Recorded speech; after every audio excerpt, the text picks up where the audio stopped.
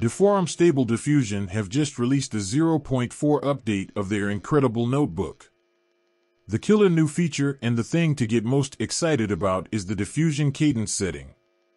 This thing allows you to skip diffusion steps while still doing a camera move resulting in much faster render times and smoother animations. I believe it's based on the same idea as Chris Allen's turbo mode from Disco Diffusion. For this first lot of animations I had the diffusion cadence setting at 4 and was rendering at 360p. With a P100 it was spitting out over 200 frames in 20 minutes.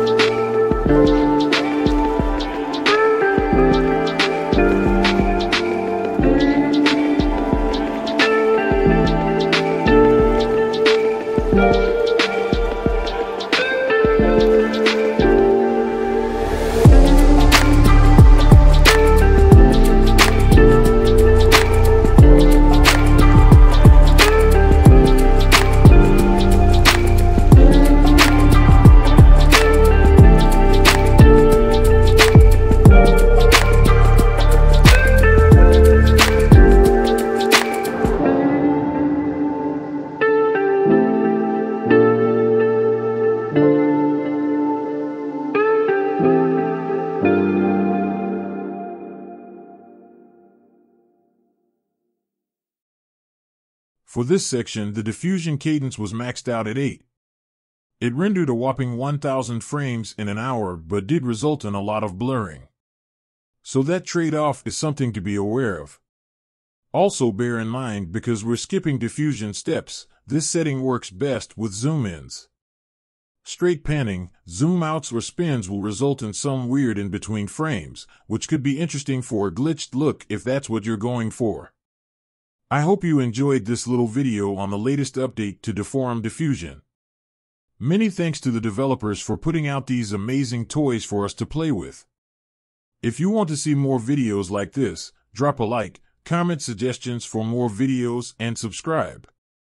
Have fun out there.